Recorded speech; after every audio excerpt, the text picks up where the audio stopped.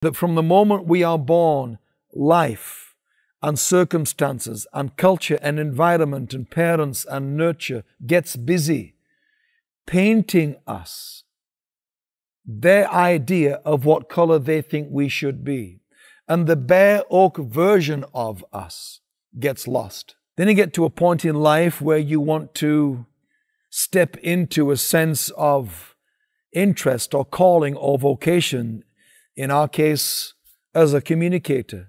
And you start to put your voice out there, not aware that so much of the struggle you have is because you don't know who you are. When I say to you, speak from your heart, and you look for your heart, you just see yellow and green and blue and purple, which are other colors people have chosen for you. And you think it's your color. So you try to be purple and it's clunky and clumsy and it's not authentic and you don't connect because you are not purple. Or you try to be orange and you don't connect because you think orange is who you are because you loved the people that painted you orange.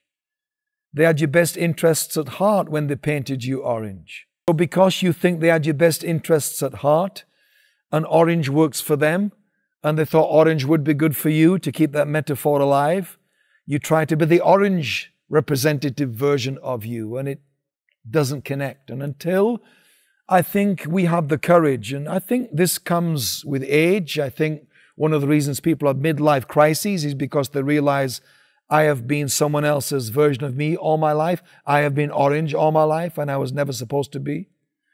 They go on this kind of discovery journey in their life. Hollywood's making movies all the time about this stuff and a self discovery journey to get down to the bare oak version of them, to do the work, to put in the work. This is behind the scenes.